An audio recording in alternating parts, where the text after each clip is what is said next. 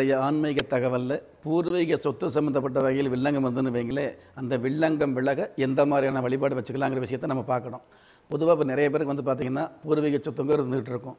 சொத்தே இல்லாமல் இருந்தால் கூட நாம் ஓரளவு நல்லா இருந்துகிட்டு இருப்போம். ஒரு சில பேர்த்துக்கு சொத்து இருக்கும். ஆனால் அந்த சொத்து வந்து அனுபவிக்க முடியாமல் பூர்வீக சொத்து அனுபவிக்க முடியாமல் அவங்களுடைய மனசு வந்து தேவையில்லாமல் பித்து பிடிக்கக்கூடிய சூழல் அதிகமாக இருந்துகிட்டு இருக்கும் அந்த மாதிரியான சூழலில் உள்ளவங்க இந்த பூர்வீக சொத்து வில்லங்கம் இல்லாமல் கிடைக்கணும் இல்லையா? அந்த பூர்வீக சொத்தில் வந்து பங்காளி சித்தப்பா பெரியப்பான்னு ஒரு அஞ்சு பேர் இருப்பாங்க. அப்போ அஞ்சு பேர் ஆறு பேர் இருந்தாங்கன்னு வைங்களே அல்லது ஒரு குடும்பத்தில் ஒரு அண்ணன் தம்பி இரண்டு பேர் இருந்தால் கூட பரவாயில்ல. ஏதாவது ஒரு வகையில் ஒற்றுமை இல்லாமல் இருக்கும். ஐந்து பேர் இருந்து ஒற்றுமையோடு இருக்குது அப்படிங்கிறத விட இரண்டு பேர் ஒற்றுமை இல்லாமல் இருந்ததுனாலே போதும். தேவையில்லாத பிரச்சனைகள் தேவையில்லாத ஒரு அமைப்பு ஏற்பட்டுக்கிட்டு இருக்கும். அதனால் அந்த மாதிரியான பூர்வீக சொத்து இருந்தும் அனுபவிக்க முடியாத வில்லங்கள் வில்லங்கம் இருந்தது அப்படின்னா அந்த பூர்வீக சொத்து சமாதானத்தோடு சண்டை இல்லாமல் வந்து சேரணும் அப்படின்னு கேட்டிங்கன்னா அதற்கு பரிகாரம் அப்படின்னு எடுத்துக்கிட்டோம் அப்படின்னா எவ்வளவோ பரிகாரங்கள் இருந்தால் கூட சுருக்கமான பரிகாரம். அந்த பூர்வீக சொத்து எங்கே இருக்குதோ அந்த சொத்திலிருந்து ஒரு கைப்பிடி மண் அது விவசாய பூமியாக இருக்கலாம் அல்லது வீட்டு நிலமாக இருக்கலாம் எதுவாக இருந்தாலும் அந்த அந்த பூமிக்கு உட்பட்ட இடத்துல வந்து ஒரு கைப்பிடி மண்ணல் மண் எடுத்து அது செம்மண்ணாக இருக்கலாம் கருமண்ணாக இருக்கலாம் எப்படி இருந்தாலும் பரவாயில்ல அந்த இடத்துல வந்து ஒரு கைப்பிடி மண் எடுக்கணும். ஒரு கைப்பிடி மண் எடுத்து வந்து வந்து அதை வந்து உங்களுடைய வீட்டில் தொடர்ந்து மூன்று நாள் பூஜை அறையில் வச்சு பூஜை பண்ணலாம். பூஜை அறையில் எப்படி பூஜை பண்ணுறது அப்படின்னா சாதாரண பூஜை பண்ணும்பொழுது சாமிக்கு முன்னாடி அதாவது பூஜை அறையில் சாமிக்கு முன்னாடி இந்த ஒரு கைப்பிடி மண் இருந்தால் போதும். இந்த மண் எதில் வச்சுருக்கலாம் அப்படின்னு கேட்டிங்கன்னா பித்தளை தட்டில் வைக்கலாம். அல்லது இந்த மண் சம்மந்தப்பட்ட மண்பானம் செய்யக்கூடிய இடத்துல வந்து பார்த்திங்கன்னா சின்ன தட்டு மாதிரி செஞ்சு வச்சுருப்பாங்க. அதில் வாங்கி வைக்கலாம்.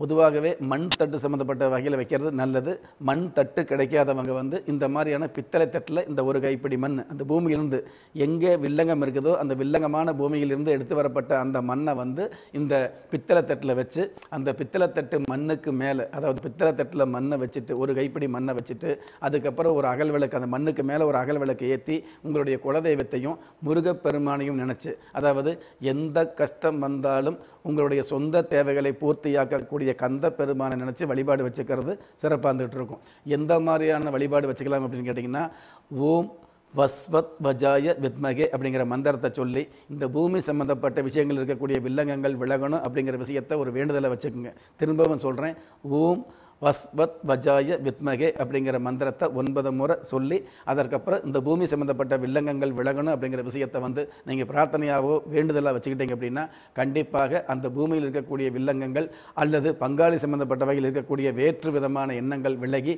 ஓரளவு சமாதானமும் சந்தோஷமும் அடையக்கூடிய சந்தோஷம் நிலவக்கூடிய பாக்கியத்தை சந்திக்க முடியும். திரும்ப திரும்ப சொல்கிறேங்க அதாவது எந்த பூமியில் வில்லங்கம் இருக்குதோ சமாதானம் இல்லாமல் இருக்குதோ அந்த பூமியில் ஒரு கைப்பிடி மண் எடுத்து வந்து அதை வந்து ஒரு மண் தட்டில் அல்லது பித்தளை தட்டில் வந்து அந்த மண்ணை வந்து பரப்பி அந்த மண்ணுக்கு மேலே ஒரு அகல் விளக்கு ஏற்றி வச்சு பிரார்த்தனை பண்ணிக்கிறது நல்லா இருந்துட்டு இருக்கும் அந்த ஏற்றி வைக்கிற அகல் விளக்கு ஒரு இருபது நிமிஷம் எரிஞ்சாலே போதும். நாள் முழுவதும் எரிய வேண்டியதில்லை.